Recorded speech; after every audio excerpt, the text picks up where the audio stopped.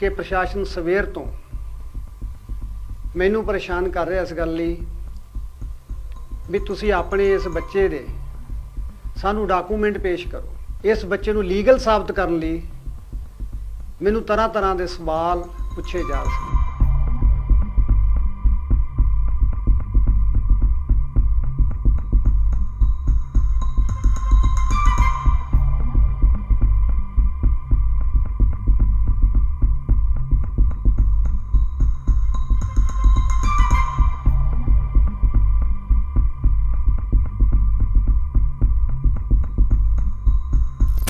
ਵੀ ਦੋ ਦਿਨ ਪਹਿਲਾਂ ਤੁਹਾਡੀਆਂ ਅਰਦਾਸਾਂ, ਤੁਹਾਡੀਆਂ ਬੇਨਤੀਆਂ ਜੋਦੜੀਆਂ ਦੇ ਸਦਕਾ ਵਾਹਿਗੁਰੂ ਅਕਾਲ ਪੁਰਖ ਨੇ ਆਪਣੇ ਤੇ ਮਿਹਰ ਕੀਤੀ, ਆਪਾਂ ਨੂੰ ਸ਼ੁਭਦੀਪ ਵਾਪਸ ਕੀਤਾ।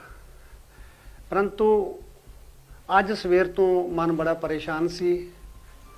ਸੋਚਿਆ ਤੁਹਾਨੂੰ ਵੀ ਸਾਰੀ ਇਸ ਗੱਲਬਾਤ ਦਾ ਪਤਾ ਹੋਣਾ ਚਾਹੀਦਾ ਕਿ ਪ੍ਰਸ਼ਾਸਨ ਸਵੇਰ ਤੋਂ ਮੈਨੂੰ ਪਰੇਸ਼ਾਨ ਕਰ ਰਿਹਾ ਇਸ ਗੱਲ ਲਈ ਵੀ ਤੁਸੀਂ ਆਪਣੇ ਇਸ ਬੱਚੇ ਦੇ ਸਾਨੂੰ ਡਾਕੂਮੈਂਟ ਪੇਸ਼ ਕਰੋ।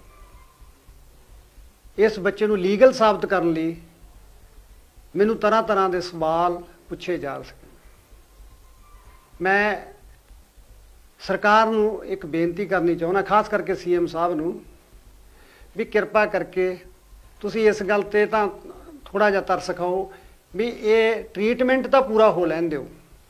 ਮੈਂ ਇੱਥੋਂ ਦਾ ਰਹਿਣ ਵਾਲਾ, ਮੈਂ ਇੱਥੇ ਹੀ ਰਹੂੰਗਾ, ਜਿੱਥੇ ਤੁਸੀਂ ਮੈਨੂੰ ਬੁਲਾਓਗੇ, ਮੈਂ ਤਲਬ ਕਰੂੰਗਾ, ਮੈਂ ਹਰ ਜਗ੍ਹਾ ਤੇ ਪਹੁੰਚੂੰਗਾ।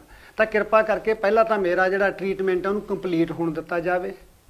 ਤਾਂ ਇੱਕ ਮੈਂ ਤੁਹਾਨੂੰ ਇੱਕ ਸਖਤ ਸ਼ਬਦਾਂ 'ਚ ਇਹ ਗੱਲ ਕਹਿਣਾ ਕਿਉਂਕਿ ਮੈਂ ਦੁਖੀ ਬਹੁਤ ਹਾਂ ਜੀ। ਕਿਉਂਕਿ ਤੁਹਾਡੀ ਇੱਕ ਆਦਤ ਹੈ, ਤੁਸੀਂ ਹਰ ਇੱਕ ਗੱਲ ਤੋਂ ਜੂ ਟਰਨ ਲੈਨੋ ਫਿਰ ਬਾਅਦ ਦੇ ਵਿੱਚ। ਤੁਹਾਡੇ ਜਿਹੜੇ ਸਲਾਹਕਾਰ ਨੇ, ਤੁਹਾਡੇ ਜਿਹੜੇ ਪਾਛੂ ਨੇ ਉਹ ਤੁਹਾਨੂੰ ਇਹੋ ਜਿਹੀ ਸਲਾਹ ਦਿੰਦੇ ਨੇ ਤੇ ਫਿਰ ਤੋਂ ਉਸ ਫੈਸਲੇ ਤੇ ਰੁਕਿਆ ਨਹੀਂ ਜਾਂਦਾ। ਮੈਂ ਤੁਹਾਨੂੰ ਬੜੇ ਸਖਤ ਸ਼ਬਦਾਂ 'ਚ ਕਹਿੰਦਾ, ਤੁਸੀਂ ਜੇ ਹੱਥ ਪਾਓਗੇ, ਸਮਾਰ ਕੇ ਪਾਇਓ। ਠੀਕ ਹੈ, ਮੈਂ ਯੂ ਟਰਨ ਲੈਣ ਵਾਲਿਆਂ ਚੋਂ ਨਹੀਂ। ਮੈਂ ਜਾਨ ਦੇ ਸਕਦਾ, ਮੈਂ ਪਿੱਛੇ ਹਟਣ ਵਾਲਿਆਂ ਚੋਂ ਨਹੀਂ। ਮੈਂ ਜਿੱਥੋਂ ਤੱਕ ਗੱਲ ਕਾਨੂੰਨ ਦੀ ਹੈ, ਮੇਰੇ ਪੁੱਤ ਨੇ ਜਿੰਨਾ 28 ਸਾਲ ਦੀ ਜ਼ਿੰਦਗੀ ਜਿਉਂ ਕਾਨੂੰਨ ਦੇ ਦਾਇਰੇ 'ਚ ਰਹਿ ਕੇ ਜਿਉਂ ਮੈਂ ਇੱਕ ਸਾਬਕਾ ਫੌਜੀ ਹਾਂ, ਮੈਂ ਕਾਨੂੰਨ ਦੀ ਹਰ ਜਗ੍ਹਾ ਦੇ ਉੱਤੇ ਰਿਸਪੈਕਟ ਕਰਦਾ। ਔਰ ਮੈਂ ਤੁਹਾਨੂੰ ਯਕੀਨ ਵੀ ਦਿਵਾਉਣਾ ਚਾਹੁੰਦਾ ਇਸ ਗੱਲ ਦਾ ਵੀ ਮੈਂ ਕਾਨੂੰਨ ਦੇ ਹਰ ਪਹਿਲੂ ਤੇ ਖਰਾ ਉਤਰੂੰਗਾ। ਮੈਂ ਕਿਸੇ ਵੀ ਜਗ੍ਹਾ ਦੇ ਉੱਤੇ ਕਾਨੂੰਨ ਦੀ ਉਲੰਘਣਾ ਨਹੀਂ ਕੀਤੀ। ਅਗਰ ਮੈਂ ਕੀਤੀ ਹੋਈ ਮੈਨੂੰ ਫੜ ਕੇ ਜੇਲ੍ਹ 'ਚ ਪਾ ਦਿਓ। ਅਗਰ ਤੁਹਾਨੂੰ ਫਿਰ ਵੀ ਮੇਰੇ ਤੇ ਵਿਸ਼ਵਾਸ ਨਹੀਂ, ਪਹਿਲਾਂ ਮੇਰੇ ਤੇ ਐਫ ਆਈ ਆਰ ਕੱਟੋ, ਫੜ ਕੇ ਮੈਨੂੰ ਅੰਦਰ ਦਿਓ। ਫਿਰ ਇਨਵੈਸਟੀਗੇਸ਼ਨ ਕਰੋ ਤੇ ਮੈਂ ਆਪਣੇ ਸਵੈ ਵਿਸ਼ਵਾਸ ਦੇ ਨਾਲ ਇਹ ਗੱਲ ਕਹਿੰਦਾ ਵੀ ਮੈਂ ਸਾਰੇ ਲੀਗਲ ਡਾਕੂਮੈਂਟ ਤੁਹਾਡੇ ਸਾਹਮਣੇ ਪੇਸ਼ ਕਰਕੇ ਮੈਂ ਇੱਥੋਂ ਸਾਫ਼ ਵਰੀ ਨਿਕਲ ਕੇ ਦਿਖਾਉਂਗਾ